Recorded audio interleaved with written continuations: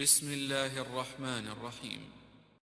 شهر رمضان الذي أنزل فيه القرآن هدى للناس وبينات من الهدى والفرقان.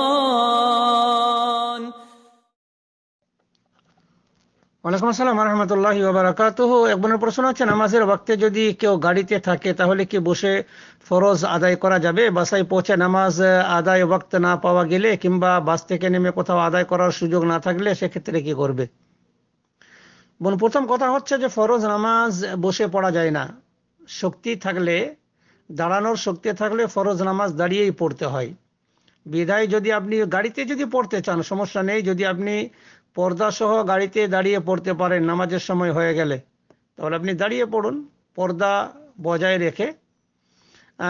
সব থেকে উত্তম হচ্ছে যে, যদি গাড়ি থেকে কোথাও নেমে, গাড়ি থেকে কোথাও নেমে নামাজটা পড়া যায়, পড়ার সুযোগ থাকে, কিন্তু আপনি যেমন বলছেন, গাড়ি থেকে নেমে কোথাও আদায় করার সুযোগও নেই। তাহলে আপনাকে কি করতে হবে? না, প্রথমে চেষ্টা করতে হবে পর্দা সহ দাঁড়িয়ে পড়ার। কিন্তু যদি যেমন মনে করেন বাস, বাসে কিন্তু দাঁড়িয়ে এমনিতেই থাকা যায় না। নামাজ কি করে পড়া যাবে?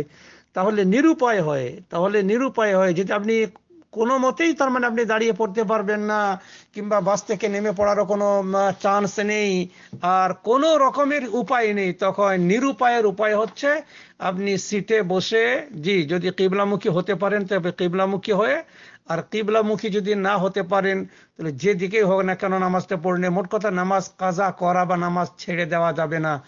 সময়ের বাইরে গিয়ে নামাজটা পড়লে হবে আপনি যদি মুসাফির হন, তাহলে আলাদা জিনিস। মুসাফির হলে জহর, আসর একত্রে পড়ে নেবেন, না মাগরিব এসা একত্রে পড়া যায়, সেটা আলাদা।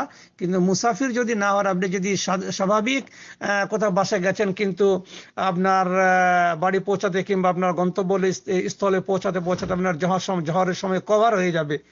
তাহলে আপনাকে ওভাবেই বসে বসে পড়ে নিতে হবে। কিন্তু যদি আপনি আপনার গন্তব্য স্থলে যে সময়ের আগে পৌঁছে যান, মনে করেন বারোটায় জহরের আজান হচ্ছে, কিন্তু জহরের নামাজ মনে করেন তিনটে পর্যন্ত পড়া যাবে।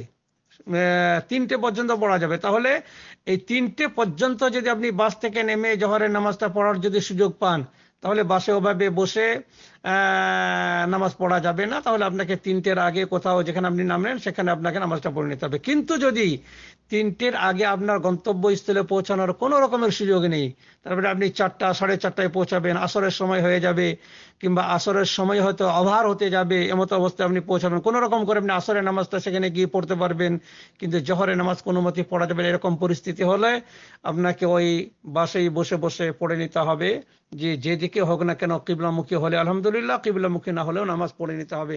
মোট কথা নামাজ ছেড়ে দেওয়ার কোনো